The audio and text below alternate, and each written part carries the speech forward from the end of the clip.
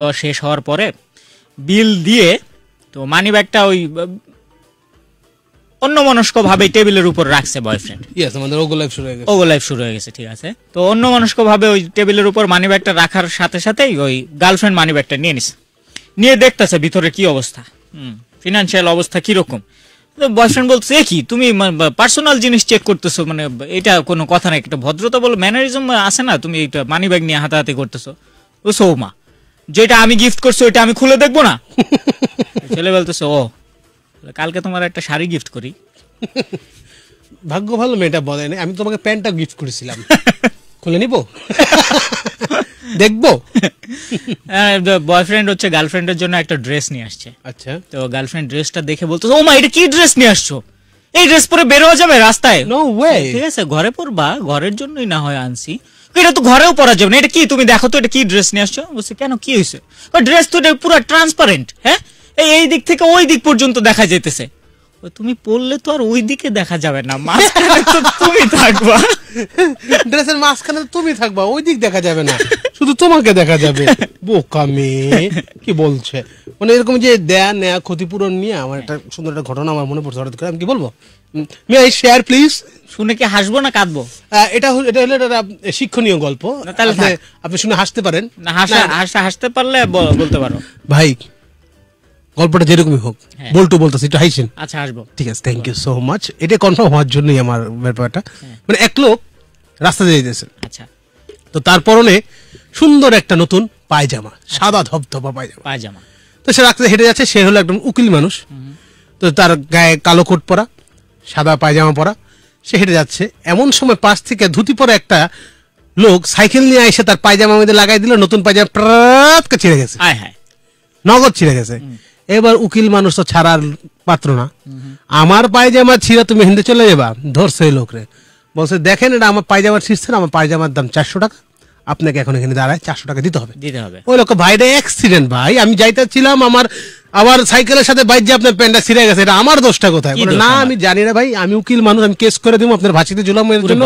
আপনি পাঁচ বছর জেল খাটামু আপনি চারশো টাকা দিবেন কি দিবেন না? ওটা ওই লোকটা মানে অনেকক্ষণ ক্যাসা ক্যাসা করে ঠিক আছে ভাই আপনার কত এটা দাম চারশো টাকা? কিন্তু এটা তো সেকেন্ড হ্যান্ড আপনি এটা পড়ছেন। তার মানে এটা নতুনের দাম নাই। আপনি এটা এখন পুরানোর দাম পাবেন তিনশো টাকা পাবেন লোক কুকিল মানুষ যুক্তি কথা বুঝছে। বলছে আপনার কথাও রাইট ঠিক আছে। যান। সেকেন্ড হ্যান্ড যেহেতু আপনি আমার তিনশো টাকাই দেন এটার দাম তিনশো টাকা দেন। তাহলে লোকটা তিনশো টাকা দিয়েছে দিয়ে বলছে ঠিক আছে থ্যাংক ইউ সো মাচ তিনশো টাকা পাইলাম গেলাম। ওই লোক বলে না যাইতে দেবো না। বলে কেন যেতে দেবেন না? দেখেন এই যে আপনার থেকে সেকেন্ড হ্যান্ড তিনশো টাকা দিয়ে আমি পায়জামাটা কিনছি। কিনছি না? তাহলে পায়জামাটা না আমার পায়জামাটা খুলে দিয়ে যান। কে কেমন কথা? আমি রাস্তাঘাট আপনার এই পায়জামা খুলে দিব না বলে হ্যাঁ ভাই আমি পায়জামাটা কিনছি আপনার থেকে এই মাত্র সেকেন্ড হ্যান্ড আপনি চারশো টাকার দাম দিয়েছেন আমি সেকেন্ড হ্যান্ড থেকে তিনশো দিতেছি। আপনি রাজি হয়েছেন বেচছেন জিনিসটা। এই পায়জামা এখন আমার খোলেন পায়জামা পায়জামা খুলে আমার দিয়ে যান। কয় ভাই এটা কেমন কথা? আমি রাস্তায় গিয়ে তাহলে কি প্যান্ট ছাড়া হাঁটবো নাকি? হ্যাঁ। সে তো আমি জানি না ভাই। আমি তিনশো টাকা দিয়ে কিনছি আমার দিয়ে যান। হ্যাঁ। এখন লাস্ট উকিল তো মানে অন্য কথা পারতেছে না। বলে ভাই তিনশো টাকা লাগবে না। না আমি তো পায়জামা বেচবো না। আমি তো আপনার কাছে পায়জামা বেচবো না ভাই। আপনার মতো মানুষের কাছে আমি পায়জামা বেচবো না। আমার সিরা পাইজামা আমার খুলে দিয়ে দেন আমি তিনশো টাকা দিয়ে কিনছি। হ্যাঁ। ওই লোক তো কোনোভাবে খুলবো না দিব না। কাছে ঠিক আছে কি হইলে দিবেন? কটা আমি বারোশো টাকা বেচবো। আমি তিনশো টাকা দিয়ে কিনছি পায়জামাটা। হ্যাঁ। যদি অন দ্য স্পট আপনি আমাদের কিনতে চান বারোশো টাকা বারোশো টাকা দেখা লাগবে ভাই। হইলে আমি পায়জামা বেচবো নাইলে আপনার পায়জামা খুলে দিয়ে চলে যান। হ্যাঁ। শেষ পর্যন্ত বারোশো টাকা দিয়ে নিজের সিধা পায়জামা নিজেই পরে বাসায় গেল ভাই হাসি আছে কথা কিন্তু ঘটনার মধ্যে শিক্ষণীয় অনেক ব্যাপার আছে। আমরা শিখব আর হাসবো। নিউটনের তৃতীয় সূত্র কারণ আচ্ছা তৃতীয় সূত্রে তো হাসির ব্যাপার সেপার এই যে দেখছেন বলছি যে শিক্ষণীয় হাসাইলাম তো এখন। এখন এটা শিখানো যাইতে পারে নিউটনের তৃতীয় সূত্র। আমার মনে হয় আমি যেইভাবে পড়ানো শুরু করছি নিউটনের তিনটা সূত্র কয়দিন পরে বই থেকে বাদ দিয়ে দিব। বলো মোটামুটি বাংলাদেশের সবাই এটা মুখস্থ হয়ে গেছে এটা বইয়ে রাখার দরকার নাই।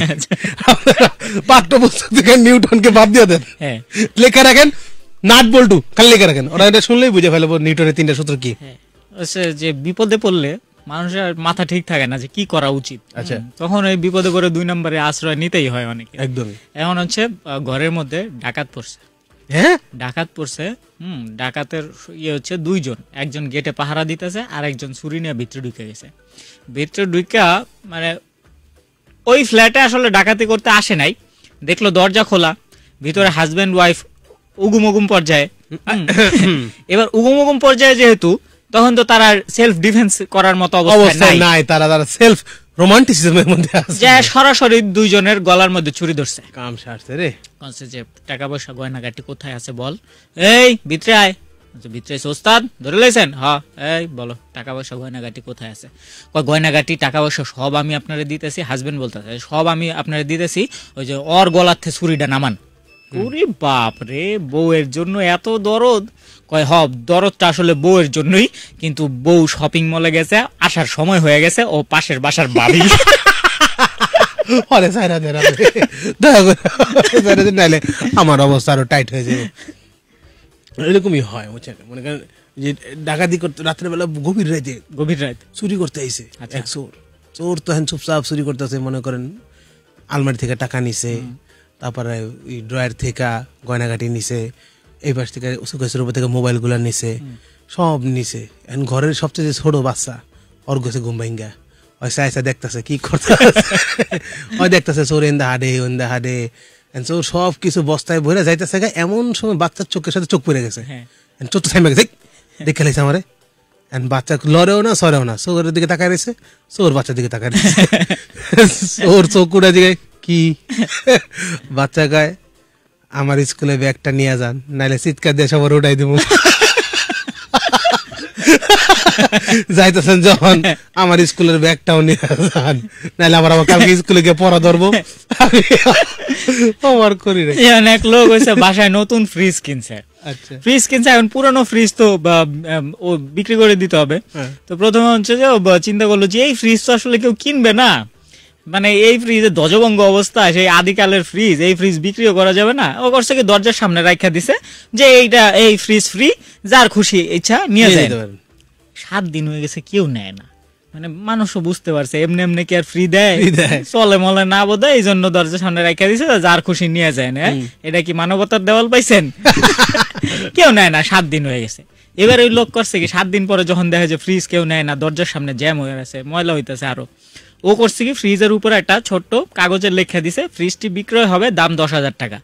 পরদিন চুরি হয়ে গেছে। এগুলো বুদ্ধি। যারা ছোটখাটো ব্যবসায় আছেন তাদের জন্য বুদ্ধি। মানে অনেক প্রোডাক্ট আছে মনে করেন। আপনি দাম লেখা রাখছেন সাতশো টাকা। হ্যাঁ।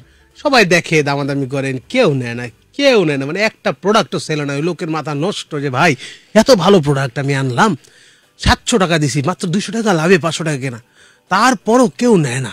হ্যাঁ কি করতে পারি আমাকে চাইছে কুপরামর্শ কেন্দ্রে বল্টুর কু কুপরামর্শ কেন্দ্র।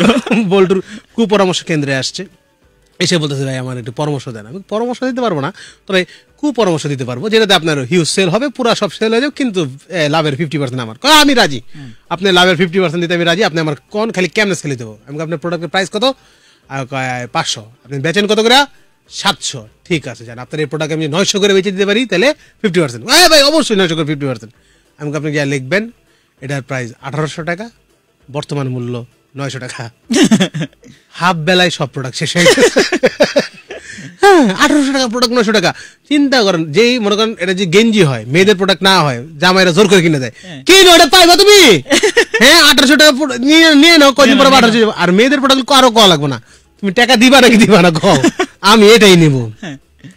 যে কোনো প্রোডাক্ট আপনি মনে করেন দশ হাজার টাকার প্রোডাক্ট আপনি লিখে দেবেন তিরিশ হাজার টাকা বর্তমান মূল্য অফার প্রাইস দশ হাজার টাকা। শেষ আপনি কিচ্ছু করা লাগবে না। চোখ বন্ধ করে বসে থাকুন মাইনছে আপনার গলা টিপা লয়ে যাব। ভাই কই আর কই?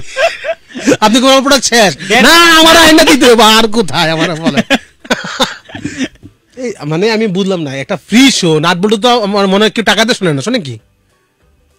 না তো। তাহলে এরকম বড় বড় এত বিগ বিগ আইডিয়া গুলা আরে আমরা তো বিশাল বিশাল আইডিয়া দিই না আমরা বিজনেস পলিসি বিক্রি করি। আমরা আমাদের কনসেন্ট্রেসি কনসালটেন্সি ফার্ম খোলা উচিত। আমি খুশি না কুপরামর্শ কেন্দ্র। আমি মোটামুটি খুলে ফেলেছি। আপনার যদি কারও কুপরামর্শ লাগে যে কোনো কিছু আমি নগদ দ্রব্য সেল আমরা কয়েকদিন পরে স্টক এক্সচেঞ্জে নামতেছি? আমার শিওর কালকে বড় বড় কোম্পানি থেকে আমার ফোন আসবে। অলরেডি একটা আসতেছে ভাই। কি আসতেছে? এই যে এটা অলরেডি এই থেকে ফোন আসছে। কি? কেসলে কেসলে কি জিনিস? বুঝতেছেন না? কেসলে কেসলে। চায়ের কোম্পানি কেসলে। আমার ইন্টারন্যাশনাল মাল্টিন্যাশনাল কোম্পানি থেকে কেসলে থেকে ফোন আসছে। না আমার একটা পানির কোম্পানি আসছে বেসলে। ফোন ফোন ফোন হ্যালো জি কে? কেসলে সিও ফোন দিছে ভাই। ওরে বাবা। কেসলে কেসলে কেসলে জি আপনি কেসলে বানান করতে পারেন? আচ্ছা বানান লাগবে। কি হয়েছে ফোন দিয়েছেন কেন? ও নাট বলতে শুনতেছেন thank you thank you so much sir জি। ভাই আমার বলতেছে যে ওনাদের সেলসের হেড হওয়ার জন্য। মানে না তাহলে তাহলে সেলসের হেড হয়ে লাভ নেই সেলসের বেলিতে বেশি টাকা। সেলসের হেড হতে পারব যদি বেলি টেলি হয় আমার ডাক দিয়েন। হ্যান্ড হ্যান্ড হইলেও হয়, হ্যাঁ। টাকা তো হাতে আসে। না উনি মানে বেলি টেলি উনি আইডিয়া যেতেছে। যে আপনি কীভাবে চা বেশি বেচবে? সমস্যা নেই আপনি চা দিয়ে চা বেচেন অনেক বেচাইবো অনেক কাস্টমার কাস্টমার চা না খায় হ্যাঁ, এদিক ওদিক। উফ এই যে আমি না বিভিন্ন আইডিয়া দিলাম বিরক্ত লাগে। সাথে সাথে বড় বড় কোম্পানি থেকে আমার ফোন দেয় আমি তো এগুলো না করে দিই সাথে সাথে। চা দিয়ে গিয়ে চা বেচাটা কিন্তু ভাই ভালো আইডিয়া ভালো আইডিয়া না? হ্যাঁ। এই যে মনে ওই যে আছে না চাঁদের চায়ের দোকান। সব চ দিয়া। এগুলো বাংলাদেশেও আছে জাদুর চায়ের দোকান। চাঁদের চায়ের দোকান বেশ চাচা সাথে থাকব চাচি হ্যাঁ। যে আইবো চা চাইব। সব- সব- হ্যাঁ, চাচা কি বলবে? চাচায় চাচায়। হ্যাঁ চাচা চাচাই মনে করেন যে ওই যে আমি আগে অনেক আগে বলছিলাম কারও মনে আছে কিনা জানি না। হ্যাঁ। মানে চা কত ছোট্ট একটা ওয়ার্ড হ্যাঁ। মানে ওয়ার্ডও না বলা যায়। চয়ের লোকে টাকার দিয়ে একটা নাম দিয়ে শব্দ ফেলছে হ্যাঁ। শব্দ বানা হয়েছে এটার নাম চা। চা। কি হয়েছে চয়ের মধ্যে টাকার দিছে।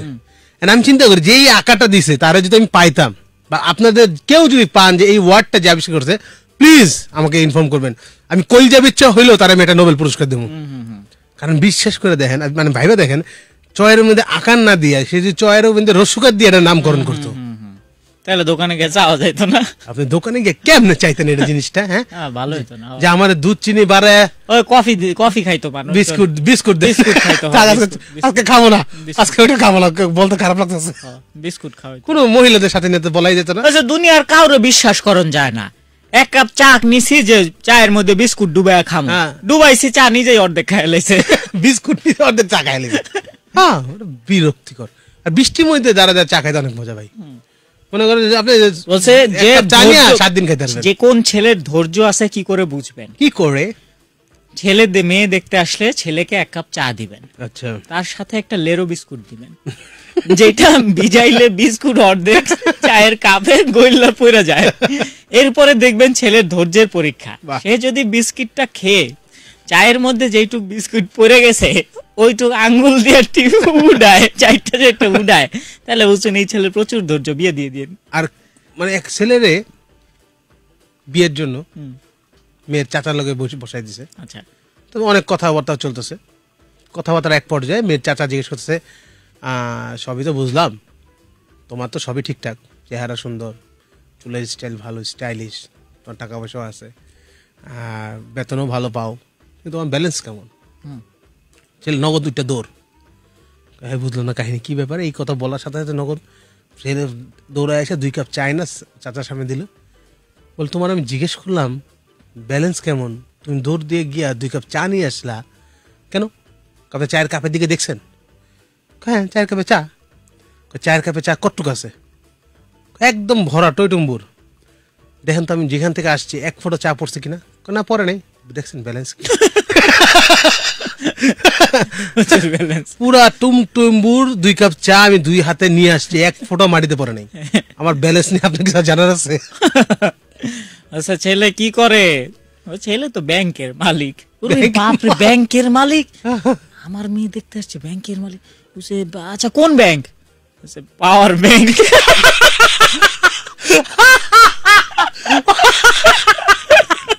আমাদের এখন একটা পাওয়ার ব্রেক নেওয়া লাগবো।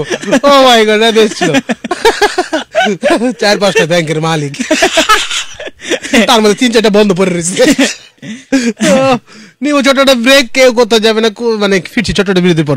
এসএমএস করুন সিক্স নাইন সিক্স নাইনে আর কমেন্ট। করুন আমাদের লাইভে আমরা আছি আটটা পর্যন্ত. শুনছেন Evaly presents nut bolt to the to fun kings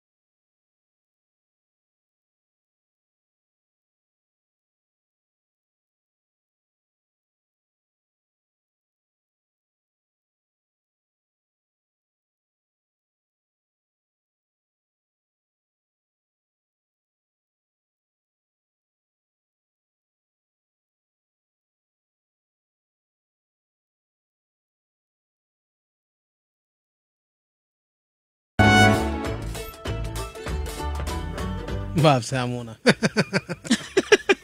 কি ভাবছিলেন আমুনা না? প্রথমে এসেই একটা কথা বলে বলতো। ভাবছিল যে গেছে দুই শয়তান। আমাদের তাড়ানো এত সোজা না। আমাদের তাড়াইতে হলে দুই টাকা দিয়ে বলবেন আয় আয় আয়। নইলে তারায় তারায় রটিয়ে দিত তারায় তারায় রটিয়ে দিতে হবে আমাদের হ্যাঁ। আমাদের তারাতে নাট বল্টু নাট বল্টুর কথা। যাই হোক আমরা বেশি কথা না বলি এখন অনেক। এখন বেশি কথা বলতে হবে না এখন অনেক কথা বলতে হবে। আচ্ছা যাই হোক আমি এক ফাঁকে আমি যে দু একজনের ই স্বীকার করতে চাই যাদের আজকে সারাদিন অনেক কাজ করছি তার মাঝে আমাদের নাটবল্টু লিসেনার পেয়েছি প্রচুর প্রচুর। আমাদের বিভিন্ন জায়গায় নাটবল্টু লিসেনার আমাদের ছড়িয়ে ছিটে আছে তার মধ্যে আজকে তিনজনের সাথে দেখা হয়েছে তার মধ্যে একজনের নাম অলরেডি ভুলে গেছি। হ্যাঁ?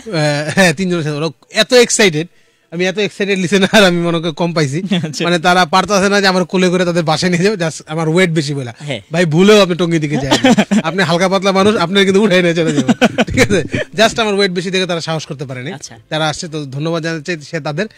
তারা মানে মোটামুটি খুবই আমি সত্যি ভালো লাগছে তাদের সাথে মিট করে। তো তাদের নাম বলি দুজনের নাম মনে আছে আমার আর বাকি মনে নেই। আমাদের প্রচণ্ড ডেলি লিসনার ডেইলি ডেইলি শোনে দুই তিনবার করে শোনে। তো তার মধ্যে একজন হচ্ছে একা। সে যদিও একা না তার সাথে প্রথম দেখা হওয়ার সাথে সাথে সে এক ফোনে আরও চারজনে নিয়ে তিন চারজন একসাথে চলে আসে। তাদের মধ্যে মিমের নামটা মনে রাখতে পারছি আর কারণ মিম বলছে আমাদের ভাই আমি অনেক এস এম এস করি আপনার পড়েন না। মিম নামে তো আমরা অনেক এস এম এস করি ভাই আমি বিশ্বাস করি নি থ্যাংক ইউ এক এবং মিম এত সুন্দর করে আমাকে কোলে তুলে না নিয়ে বাড়ি নাটবল্টু করতে দেওয়ার জন্য তোমাদেরকে অনেক অনেক ধন্যবাদ। এস এম উকিত লিখেছে নতুন টাকা না খরচ করে সারা জীবন রেখে দিতে চাওয়া। আমার নিষ্পাপ মন। হ্যাঁ এক সময় মনে হতো সিনথিয়া নাফিস আবার সিনথিয়া নাফিস আবার থেকে লিখেছে শাওন ভাইয়া আমি চা শব্দটা আবিষ্কার করছি। আচ্ছা আসো তোমাকে চু দিয়ে চুলকাবো সমস্যা নাই চুলকিয়ে দেবো তোমাকে আমি আসো। সাজিয়া আচ্ছা আমার কমলা সুন্দরী লিখেছে আপনার কি মন খারাপ? এক্ষুনি টাইপ করুন আই লাভ ইউ স্পেস আপনার লাভারের নাম পাঠিয়ে দিন আপনার বাবার নাম্বারে আর উপভোগ করুন আনলিমিটেড মাইর তখন কি মন ভালো হয়ে যাব? তোমার মন ভালো হয়ে দীক্ষা। সাজিয়া উত্তরাখণ্ড থেকে লিখেছে এ ভাইয়ারা তুমি আমারে একটা কো কু সাজেশন দাও। আমি ফার্স্ট এস এম এস এটা আমার ফার্স্ট এস কু সাজেশন কি দেবো? কু সাজেশন দেবো তুমি এরপর থেকে আট দশটা করে এস এম এস করব। ঠিক আছে? জাকিয়া সুলতানা পরামর্শ কেন্দ্র। কইলাম কু পরামর্শ কেন্দ্র এটা বানিয়েছে কু সাজেশন। সাজেশন। কোন কই যাম জাকিয়া সুলতানা আকি বাঞ্ছারামপুর থেকে লিখেছে তোমাদের ফোনে কি ঠাড়া বলুক আচ্ছা। একদিনও তোমাদের ফোনে পাই না। জানাও এটা আমার সেকেন্ড এস এম এস না তোমার তো সেকেন্ড এস এম এস না এটা সাত নম্বর এস এম এস প্রিয়ামণি লিখেছে দুই ছাত্র মারামারি করছে। শিক্ষক বলছে এই তোরা মারামারি করছিস কেন? স্যার ও আমার গার্লফ্রেন্ডকে কিস করছে। কি? তোর গার্লফ্রেন্ডকে কিস করছে? তোর গার্লফ্রেন্ড কে? আপনার মেয়ে। থামলি কেন? আরও মার। মার মার আপনার মিরপুর থেকে লিখেছে একই ফল আলাদাভাবে দুইটা ঝুড়িতে রাখবা। একটা ঝুড়ি ফলের দাম বলবা পঞ্চাশ টাকা অন্যটার বলবা আশি টাকা। দেখবা সবাই আশি টাকারটা কিনবে। না এটা মোটামুটি ফল পঞ্চাশ টাকারটা কিনবো। আশি টাকারটা কিনবো না। দেখা দেখো টস হ্যাঁ পঞ্চাশ টাকা খাই খাই এলাম। না ওগো ধারণা কি? এমন দিনে খাই এলাম। প্রথম কথা আচ্ছা আজকে নিয়ে দেখি তারপরে আমার নিম্নে। ওটা ভুল হয়ে যাবে। তুমি কুপরামর্শ তুমি সুপরামর্শতে যাও এফ এম পোকার লিখেছে আমার কোনো দোষ নাই। কবি বলেছেন যে মেয়ে মূলা খেতে পছন্দ করে তার জামাই বড় লোক হবে। ওরে বাবা রে সত্যবাদী বাটপা ঢাকা থেকে লিখেছে আচ্ছা নাট বল্টু ভাইয়া প্রিন্সেস লোবনা তার আলাদা আলাদা আলাদা করে যোগ বলার কি দরকার? সে টাকার কথা বললেই তো আমরা এমনি হাসতে হাসতে। অনেকদিন টাকার কথা টাকা টাকা করে না হ্যাঁ প্রিন্সেস প্রিন্সেস লোবনা টাকা টাকা করো তো। জাহান লিখেছে জীবন সঙ্গী ভালো হলে প্রতিটা রাতই চোদ্দই ফেব্রুয়ারি আর না হলে প্রতি রাতই হ্যাঁ চোদ্দই ফেব্রুয়ারি আচ্ছা কি হয় সেদিন? হ্যাঁ কি হয়েছে? চৌধুরী ভাবে কি হয়? কি জানি। এরপরে প্রিন্সেস লোবনার এসএমএস পাইছি আমি। আচ্ছা। প্রিন্সেস লুবনা কুমিল্লা থেকে লিখেছে এই যে ই ভ্যালি প্রিন্সেস নাট বল্টু কি করো তোমরা? তোমাদের অনেক ভালোবাসি। আসলে কি এস এম এস পাঠাবো খুঁজে পাচ্ছি না। তাই তো একটু ফালতু এস এম এস করলাম। ওরে বাবা কি মজাদার S M S Sajal Majumdar লিখেছে। এটা ভালো হয়েছে। আমি আনারুল আলম শাওন। না সজল আর শাওন মজুমদারের মজুমদার। সজল মজুমদার। ও মোটা ভাই কেমন আছেন? ভাই থ্যাংক ইউ মেরিন সাফার থেকে লিখেছে এই বল্টু আমার মেসেজ পড়ো না কেন তুমি? এই মেসেজ যদি না পড়ো তাহলে খবর আছে তোমার। সে ভাই একটু লেগে খবরটা এলাম না ভাই। লিখেছে ফামি আহমেদ বল্টু ভাই তোমার সাত দিন ব্যাপী জন্মদিন শেষ? আজকে আমাকে কে জানি যে কালাকুটটা গিফট করছে। এরপর আমি মানে গিফট না পাওয়া পর্যন্ত আমি জন্মদিন শেষ করবে না বলতো। পরে আপনারা আমার জিজ্ঞেস করেন কেন কে গিফট করছে? কে গিফট করছে? এই যে আমার একটা কালো জ্যাকেট আজকে নতুন জ্যাকেট পরছি। হ্যাঁ। এটা আমাকে শাওন মজুমদার গিফট করছে। নিজের কোম্পানি থেকে। আহ, শাওন মজুমদারকে বল্টু গিফট করছে। রতনাল হাসান লিখেছে চাইলে আমিও চুল কালার করতে পারি কিন্তু বাড়ির আশ্রয়টা আমার কাছে বেশি জরুরি। ওহো। রাদিয়া সরকার গাজীপুর থেকে লিখেছে তোমাদের একটা কথা বলব সেটা হলো কিছু না? আদিবা রহমান লিখেছে ভাইয়া ভুল করে একদিন টাঙ্গাইলে আসো না। ভুল করে কেন? নিজের বাড়িতে আমি যে কোনো সময় যদি ভুল করে টাঙ্গাইল যাই রফিকুল ইসলাম লিখেছে গানটা শেষ করে দেন না। হ্যাঁ। যদি ভুল করে টাঙ্গাইল যাই তুমি খাওয়াবে চমচম। তুমি যত বেশি দেবে নাটকে সে বলবে কম কম। কি? কেমন ভাইয়া। ইনস্ট্যান্ট গান। রফিকুল ইসলাম লিখেছে কালকে ফ্রেন্ড কি? কার সাথে ব্রেকআপ করছি? করে ফেলো করে ফেলো ব্রেকআপ করে ফেলো। আমাদের অনেক ফাঁকা ছেলে পেলে বসে আছে দিয়ে দেবো তোমাদেরকে। লাবণী কালকে ফ্যানের সাথে ব্রেকআপ করছে আজকে কম্বলের সাথে রিলেশন শুরু এই ধরনের মেয়ে আমার খুব বাজে লাগে। আজ ফ্যান তো কাল কম্বল পরের দিন এসি। ছি ছি ছি ছি। লাবণী কাওলা থেকে লিখেছে আমার কোনো ভাবি নাই। তাই বল্টু তোমাকে শাওন আমাকে শাওন ভাবি বলবা? আর নাট সজলকে কাকি বলব। আমি তোমাদের অনেক ভালোবাসি কাকেন ভাবি। ওই যে ভালোবাসার উদাহরণস্বরূপ তুমি একটু মানসিক অসুস্থতায় ভুগতেছো। তুমি যে এগুলো করতেছো এই কথা আমরা কাক বলব? মাহফুজুর রহমান রাকিব লিখেছে আজকে খুব ক্ষুধা লাগছিল। আম্মু বাসায় ছিল না ফ্রিজ খুলে আইসক্রিমের বক্স নিয়ে যা দেখলাম তা বলে আর কারও দুঃখের দিন মনে করে দিতে চাই না।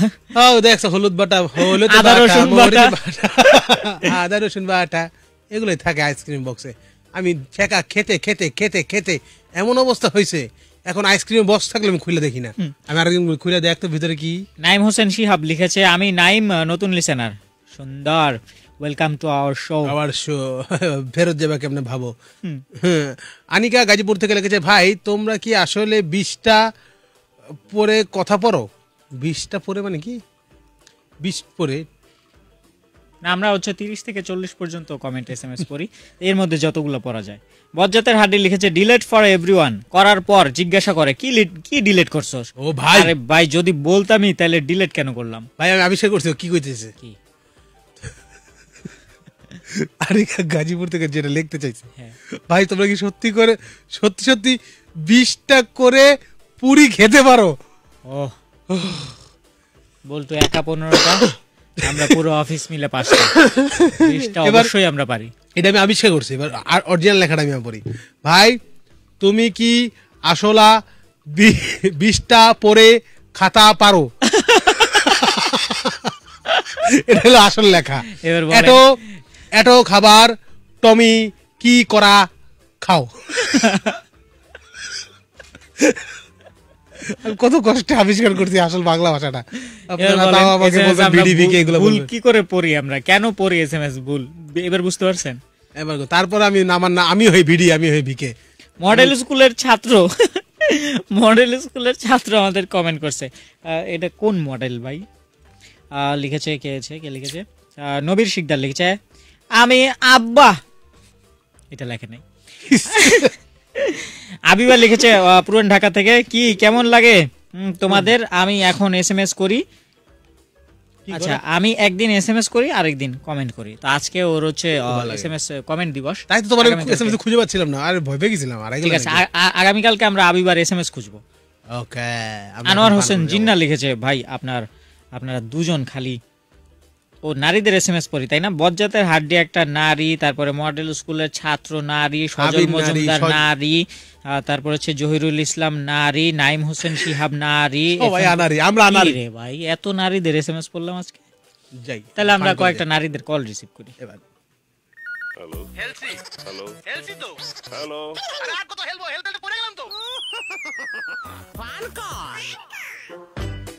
আমরা একটি নারী বিষয়ক কথা কথা। বলতে হ্যাঁ। চাই। আচ্ছা। সবাই আমাকে বলেছিল। কি বলেছিল? ধীরে ধীরে কথা বললে। ভুল কম হয় এই জন্য তাড়াতাড়ি করে ফোন কল রিসিভ করো ধীরে ধীরে সময় চলে যাচ্ছে। ধীরে ধীরে যাক না সময়। হ্যালো কাটি দিছে গেল। হ্যালো চলেই গেল। বলি ধীরে এও চলে গেছে। এও গেছে? গেল। হ্যালো এও গেল?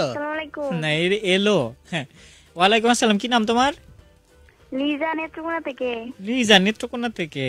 তুমি না নেত্রের মাঝখানে থাকার কথা ছিল? তুমি আজকে আবার কোনায় চলে গেছো? আমি তো মাঝখান থেকে আচ্ছা ঠিক আছে নেত্রকোনা না নেত্র মাঝখান থেকে। একবার বলে ফেলাইছে এখন আর কথা ঘুরানো যাবে না লিজা। আজকে কোনাতেই থাকো আগামীকালকে আবার মাঝখানে আচ্ছা তোমরা কি আরও কোনো লিসনার আছে নেত্রকোনা থেকে? আছে মানে আছে আছে। পুরা নেত্রকোনা সবাই শুনে এলইডি তে শুনি। হুম নেত্রকোনা থেকে তুমি একলাই শোনো। নেত্রকোনা থেকে এলইডি চালায় আমাদের শুনে তুমি জানো? হম এলইডি চালে কেমনে শুনব? তাহলে রেডিও চালায় শুনে। এলইডি চালাইয়া রেডিও অ্যাপস ডাউনলোড করে শুনে। আমার জন্য মধ্যে শুনে না তো শুনলে তো আমি শুনতামই না তো কোনো সে শুনতাছে এটা তুমি কেমনে শুনবা? হ্যাঁ? এটাই তো ফোনে কিংবা মেসেজে কমেন্টে কিছুই তো শুনি না। যারা যারা শুনে, তারা যদি আমাদেরকে ফোন বা এস এম এস করতো, তাহলে প্রতিদিন আমাদের এক কোটি এস এম এস এক কোটি ফোন থাকতো। ও আমি তো প্রতিদিনই পাইতেছি।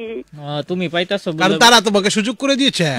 এই যে তুমি বললে কালকে থেকে আর সুযোগ দিবে না। হ্যাঁ, দিবে না। ও ঠিক আছে। আচ্ছা আমি যে নাট ভাইয়ের আই হেটি বলি অন্য মেয়েরা কি খুব খুশি হয় না রাগ পাই না অনেক খুশি হয়। অনেক খুশি হয় রাগ পায় না খুশি হয়। রাগ পাই তো কে ওরা তোমারে খুঁজতেছে টর্চ লাইট দিয়ে তোমাকে আই লাভ ইউ বলার জন্য। ওরা তোমাকে আই লাভ ইউ বলার জন্য টর্চ লাইট দিয়ে খুঁজতেছে। ও সেটাই তো ভালো। ওই তো ভালো। তো না। হৃদয় জানো? কই। আমরা হিডে কই একটা না। কথা বলি একটা কথা বলি? বলো বলো একটাই বলে ফেলো। একটাই কথা বলো। চপাক করে বলে ফেলো। ঠিক আছে। উম, আনোয়ার আলম সজলের সংক্ষিপ্ত রূপ কি জানো? কি? কি?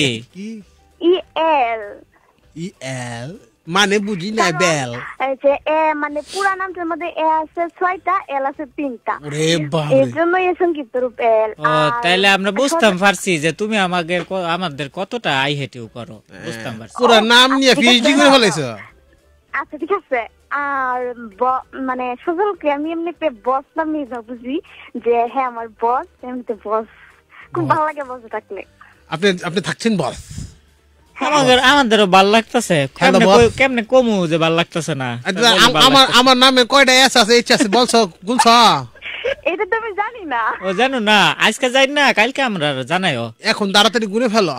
আমি গুনা সময় পাইতেছি ঠিক না আছে। ঠিক আছে। আমার বস আরেকবার আই হেট ইউ। ও ঠিক আছে কালকে আমাদের জানাইও আবার। ভেরি গুড বাবা গো আই হিট টু পিএইচডি করে লেছে হ্যালো হ্যালো হ্যালো। হ্যালো। ভাই। বলো ভাই। আসসালামু আলাইকুম বড় ভাইয়া। ওয়ালাইকুম আসসালাম। নাম কি তোমার? কেমন আছো? ভালো আছি ওই তো আগের মতো শীত লাগতেছে। তোমাদের ফোন দিলে তো ফোন ধরো না। এটা বাদে অন্য কোনো কথা আছে। ফোন দিলে ফোন ধরুম না। আমি বুঝলাম না ফোন দিলে আমরা কি ধরবো আমরা কি মান বলো। তোমার তোমার কথাটা আমার অনেক ভালো লাগে। আমার আমার কথা নাকি নাট ভাইয়ের কথা? না না তোমার কথা। তোমার কথা? ভালো লাগে। ভালো লাগে? তাহলে ধরে ধরে ফ্রিজে রেখে দিয়ে পয়সা যাব নাহলে কিন্তু। কেন? কেন মানে এনু? না শীতের দিনে বেশি নষ্ট হয় না। থাকে। বলো। হ্যাঁ বলু ভাই কেমন আছো? ঘুরে লাভ কি? সব মাইকেই আসে। মাইকে আইছে না? বন্ধ করে নিও। হ্যাঁ। কাশি পাইছো? বলো। হ্যাঁ। আমার বলছে কেমন আছে? আমি চারবার কইছি ভালো আছি। অনেকদিন পরে তোমার পাইছি। অনেক দিন পর পাইছো। এর আগে কবে পাইছিলা? এর আগে পাই নাই। অনেক দিন পরে পাইছি।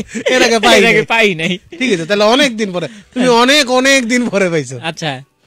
তো ভাইয়া তুমি যোগ শোনাবে একটা?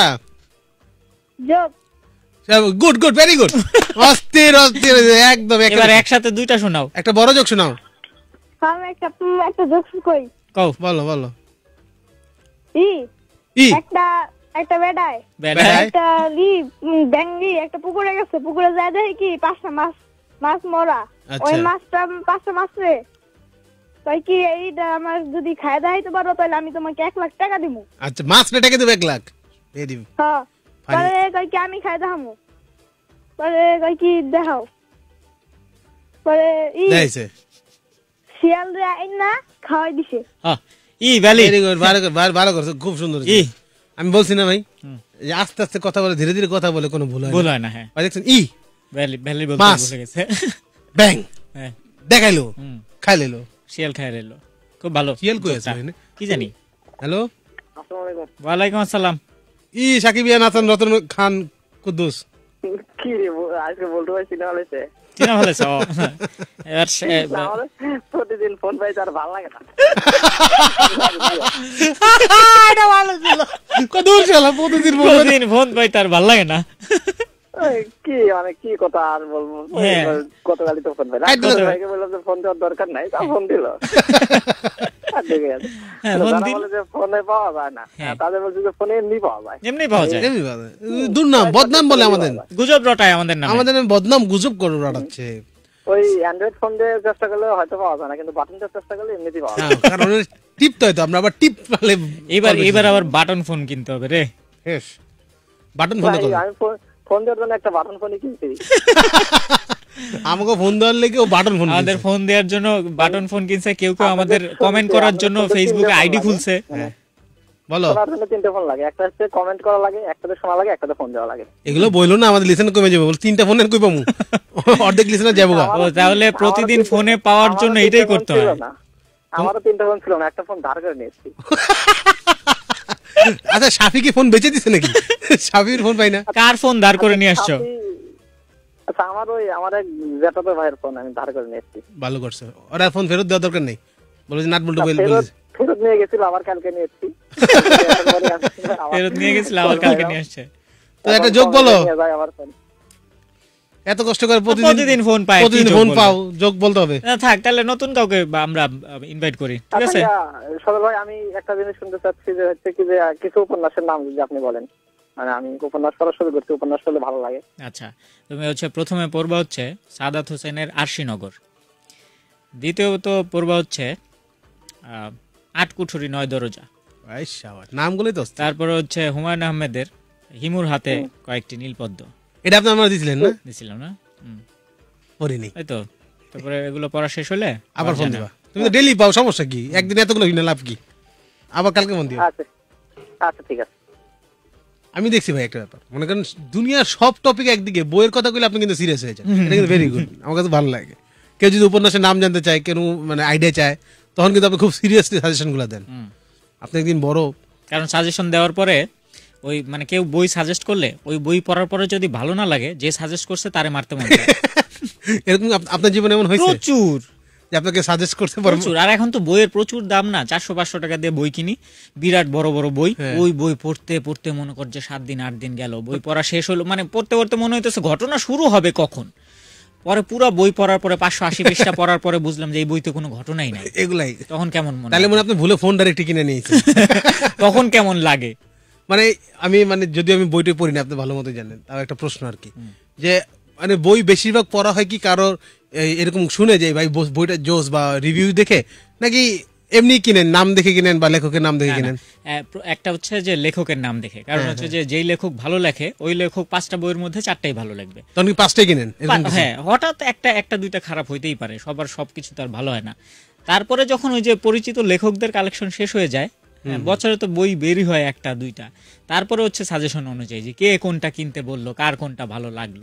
এগুলো কই থেকে পান? এই সাজেশনগুলো? যেন আম- আমাদের লিসেনারদের একটা সুবিধা আছে বর্তমানে যে নাট ভাই আছে নাট ভাইরে বললেই সাজেশন পায়। না বর্তমানে ওই যে ইয়াং রাইটার যারা উঠতি এবং হচ্ছে বা হচ্ছে যে যারা অলরেডি সারা ফেলেছে বই লেখে তারা সবাই হচ্ছে যে ফেসবুকে অ্যাড আছে আর কি ফ্রেন্ড লিস্টে আচ্ছা, আছে। আচ্ছা, আচ্ছা। তারা যখন নতুন বই প্রকাশী প্রকাশ করে তখন হচ্ছে যে সেটা তো জানতেই পারি. তারপরে হচ্ছে যে আমার মতো কিছু বই প্রেমী আছে যারা হচ্ছে একটা বই পড়ার পরে ওই বইয়ের কিছু Review দেয়। হ্যাঁ কিছু মানে কোনো একটা আর্টিকেল লিখে বা হচ্ছে যে ওই বইয়ের একটা অংশ লিখে এটা দেখি রিসেন্টলি আপনিও শুরু করছেন। মাঝে মাঝে ওইটা আমি বহু আগে থেকেই মা- করি। মাঝে মাঝে দেখি যে আপনার বিভিন্ন কিন্তু ভালো লাগে ওইটা আপনার ওই লেখা পড়লে তো আমার ভালো লাগে কিন্তু বই পড়লে ভালো লাগে না যেই বইটা ভালো লাগে আমি শুধুমাত্র ওইটাই লেখা শেয়ার করি। কারণ হচ্ছে যে ওই লেখা দেখে একজন বই কিনবে পরে আমারে গালি দিবে এটা তো হবে না। আচ্ছা আচ্ছা। না কিন্তু আপনার লেখাগুলো কিন্তু আমি সব পড়ি। তখন তো আমার ভালো লাগে আমি তখন বুঝতে পারি যে কোন একটা বই থেকে আপনি তো লিখে দেন হ্যাঁ। যে বইয়ের কিন্তু ওই বইটা পড়ার মধ্যে আমার আগ্রহ আর আসে না। কিন্তু ওই লেখাটাই দেখা যায় দুই তিনটা পড়ে ফেলাই। এই ভালো লাগতেছে মানে ব্যাপারটা খুব সুইট বা সুন্দর টাচি যাই হোক অনেক মানে মাঝখানে অফ টপিক অনেক কথা বললাম অনেকগুলো গালিও খাইছি। ফোন না ধরে কথা কইতেছে হ্যাঁ, কিচ্ছু করে ধরার সময়ও নাই কিচ্ছু না কিচ্ছু শুনছেন Evaly presents nut bolt to the to fun kings. ব্রেকের পরে। অবশ্যই। Capital FM 94.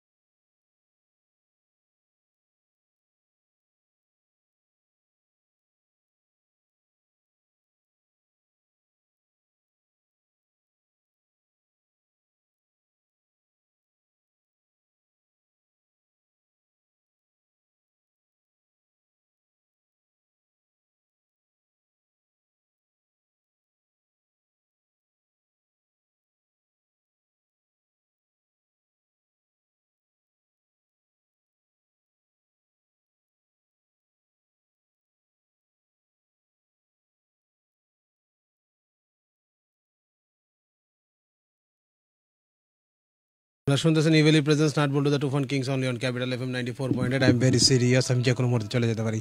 আচ্ছা। সরি ইওর অনার আপনাকে জানাচ্ছি যে আমাদের আজকে শেয়ার করেছেন মোহাম্মদ আলী। কি? শেয়ার করেছেন মোহাম্মদ আলী। শেয়ার পড়তেছে আপনি কি সিরিয়াস হয়ে গেলেন কেন? আচ্ছা হ্যাঁ পড়ো। ইয়ার অনার শেয়ার করেছেন মোহাম্মদ আলী এস এম ওকেত মহমিন মিয়া তার মধ্যে শেয়ার করেছেন আর রয়েছেন আমাদের মাঝে কমলা সুন্দরী। তার পাশে যে রয়েছেন জীবন চৌধুরী তার পেছন পেছনে এসে গেছেন আরেকজন বজ্জাতের হাড্ডি। হাড্ডির পাশ ধরে ধরে যাকে দেখা যাচ্ছে তিনি হচ্ছেন নুসরাত জাহান। নুসরাত জাহানের পাশেই যিনি অবস্থান করছেন তার নাম জীবন চৌধুরী। জীবন চৌধুরীর পেছন পেছন শেয়ার করতে করতে আমাদের মাঝে এসে পৌঁছেছেন। তার নাম হচ্ছে গিয়ে গোল্লা গোল্লা ঘুরছে গোল্লা ঘুরছে যার নাম ঘুরছে তার নাম ঘুরছে তো ঘুরছে ঘুরছে তো ঘুরছে নাম আসার কোনো নাম গন্ধ নাই সে কে ভাই আপনারা কি আমার জীবন থেকে সময়গুলো নষ্ট করছেন কমলা সুন্দরীকে আবার দেখতে পাচ্ছি পারস্পর এতগুলো কমলা সুন্দরী কোথার থেকে আসলো আমাদের মাঝে সুন্দরী সুন্দরী সুন্দরী কমলা সুন্দরী আপনি কি মাঝখানে মাঝখানে কয়েকটা কমেন্ট পড়েন না ঘুরতেছে তো আচ্ছা তারপরে দেখতে পাচ্ছি শেয়ার করেছেন কে কে কে কে কে কে কে কে কে কে কে ইকো হচ্ছে কথার। প্রিয়া মনিকে দেখতে পাচ্ছি শেয়ার করেছে। মমিন মিয়াকে দেখতে পাচ্ছি শেয়ার করেছে। এরপরে গুড়ি গুড়ি পায়ে এগিয়ে এসে আমাদের সামনে এসে উপস্থিত হয়েছেন মোহাম্মদ আলী আবার ওয়ান্স মোর মোহাম্মদ আলী। তারপরে দেখতে পাচ্ছি শাফি আহমেদ লিখেছিল বড় লোকদের শীতের কাপড় কেনা লাগে না কারণ ওদের টাকার গরম বেশি। হ্যাঁ টাকা দিয়ে গাটা বুলাই দিলে হয়ে গেল। এমনি শাফি আহমেদকে দেখতে পাচ্ছি শাফি আহমেদকে ফোনে পাওয়া যায় না। বড় লোকদের শীতের কাপড় কেনা ও আচ্ছা আপনি তো মাত্র এটা পড়লেন। আচ্ছা ঠিক আছে। নুসরাত জাহান লিখেছে তোমাদের দুজনকে অনেক কিউট লাগতেছে you. yes, we are. Yes, তারপরে বিনা লিখেছে দুই পাগল। Are. নুসরাত yes. জাহান, আচ্ছা তো যাই আমরা। হ্যাঁ আমরা যাই যাই যাই। লেটস গো কিন্তু কোথায় জানি যাব আমরা? যেখানে যাব সেখানে যাওয়ার জন্য অনেক রাস্তা বাকি। এত হ্যাং করলে আমরা কাজ করব না। করব না আমরা। না আমরা শো করব না। Yes yes you can take yes yes your honour এটাকে মেয়েটা বলতেছে কি বলতেছে বাবু একটা রোমান্টিক গল্প বলো না। প্লিজ ছেলেটা বলতেছে ধরো শীতের রাত। কারে ধরবো? তুমি আর আমি একটা রেস্টুরেন্টে ইন আ রেস্টুরেন্ট আধো আলো আধো অন্ধকার। কোনার মধ্যে তুমি আর আমি বসে আছি। এটা হচ্ছে ওয়াও পাবো তারপরে? আশেপাশে কোনো ওয়েটার নেই। ও হ্যাঁ। তারপর হচ্ছে দুই প্লেট বিরিয়ানি। টেবিলের মাঝখানে। ওয়াও বাবু কি বিরিয়ানি? সে কাচ্চি উইথ আলু। বলছে ওয়াও বাবু তারপর? বলছে এক প্লেট আমি খাব। আর এক প্লেট তুমি আমাকে খাওয়ায় দিবা। বয়ফ্রেন্ড গার্লফ্রেন্ডকে আইসক্রিম কিনে দিচ্ছে আচ্ছা। গার্লফ্রেন্ড আইসক্রিম কোন আইসক্রিম? আচ্ছা। আইসক্রিমটা মোটামুটি মনে করেন খাইতেছে। বয়ফ্রেন্ড গার্লফ্রেন্ডের দিকে তাকায় রয়েছে। হ্যাঁ। গার্লফ্রেন্ড বিনা দ্বিধায় আ আ হ্যাঁ। বয়ফ্রেন্ড গার্লফ্রেন্ডের দিকে তাকাই আছে। গার্লফ্রেন্ড এবার খেয়াল করছে কি ব্যাপার? আমাকে কি আজকে এত সুন্দর লাগতেছে? তুমি আমার থেকে চোখে ফিরেতেছো না? বলতেছে শয়তানের ঘরে শয়তান হারাম জাদি। টাকা দেখ আইসক্রিমটা কিনে তুই একলাই খাবি আমার দে। হ্যাঁ আজকের মতো বিদায় নিচে কেউ করতে যাবেন না। ও এখন এখন কালকে tata from Evaly presents nut bolt to the হ্যাঁ। প্রুভন কিংস Capital FM.